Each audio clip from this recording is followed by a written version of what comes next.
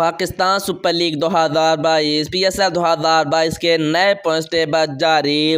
नए point table के मुताबिक कौन सी टीम पॉइंट टेबल पर सर फरेस कौन सी टीम सबसे आखिर में है, किस खिलाड़ी ने सबसे ज़्यादा रन बनाए, किस बॉलर ने सबसे ज़्यादा विकेट हासिल की हैं, और किस बल्लेबाज ने सबसे ज़्यादा छक्के लगाए हैं, आज हम आपको इस वीडियो में बताने जा रहे हैं।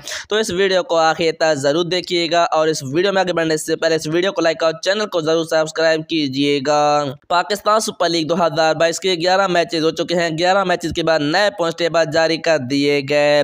नए पॉइंट टेबल के मुताबिक मुल्तान सुल्तान की टीम पहले नंबर पर है, जिन्होंने चार खेले, चार जीते, आठ पॉइंट। इस्लामाबाद यूनाइटेड ने तीन मैचेस में दो जीते, एक हारा, चार पॉइंट। लाहौर कलंदर ने भी तीन मैचेस में दो जीते, एक हारा, चार पॉइंट। पेशावर जर्मी ने भी चार मैच में दो जीते, दो हारे, चार पॉइंट। कोयटा ग्लेडिएटर ने चार मैच में एक जीता, तीन हारे, दो पॉइंट। कराची किंग ने चार खेले, चारों मैच हारे, कोई पॉइंट्स नहीं हैं। अगर हम बात करें सबसे ज़्यादा रन बनाने वाले खिलाड़ियों के बारे में तो फ़खर जमान के तीन मैच में दो सौ अड़तालीस, शान मसूद के चार मैच में दो सौ चालीस, एहसान अली के चार मैच में दो सौ चार, बाबर आज़म के चार मैच में एक सौ छियासी और पॉल सटल के तीन मैच में एक सौ चौंतीस रन स्कोर किए हैं।